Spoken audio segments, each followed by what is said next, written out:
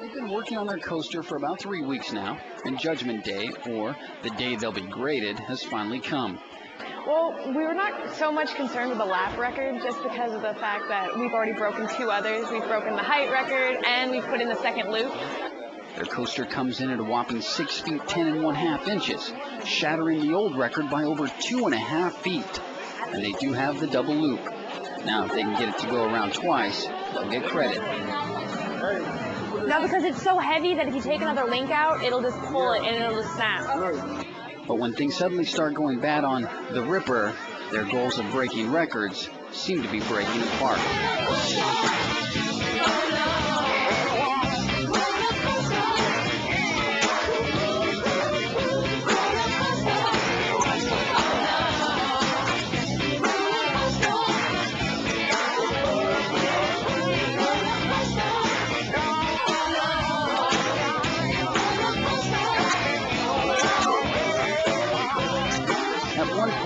Seemed like all was lost, but this group pulled it together and broke two of the three school records. I think it was a success just because of the fact that uh, we actually accomplished what we aimed to accomplish. We got the double loop in, we got that extra height. It functioned for a little while, but I think it's a success.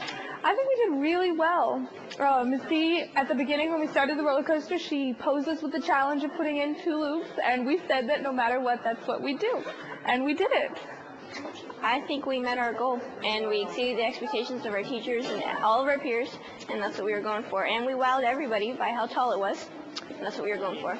Some of these students are thinking about careers in engineering, and um, a lot of times when people think about engineering, they think maybe just about building roads or building bridges and things like that. But engineering is a really wide open field, and there are engineers that make designs for roller coasters. And um, so I think it really broadens the field and it shows them there are other uh, areas that they can go into.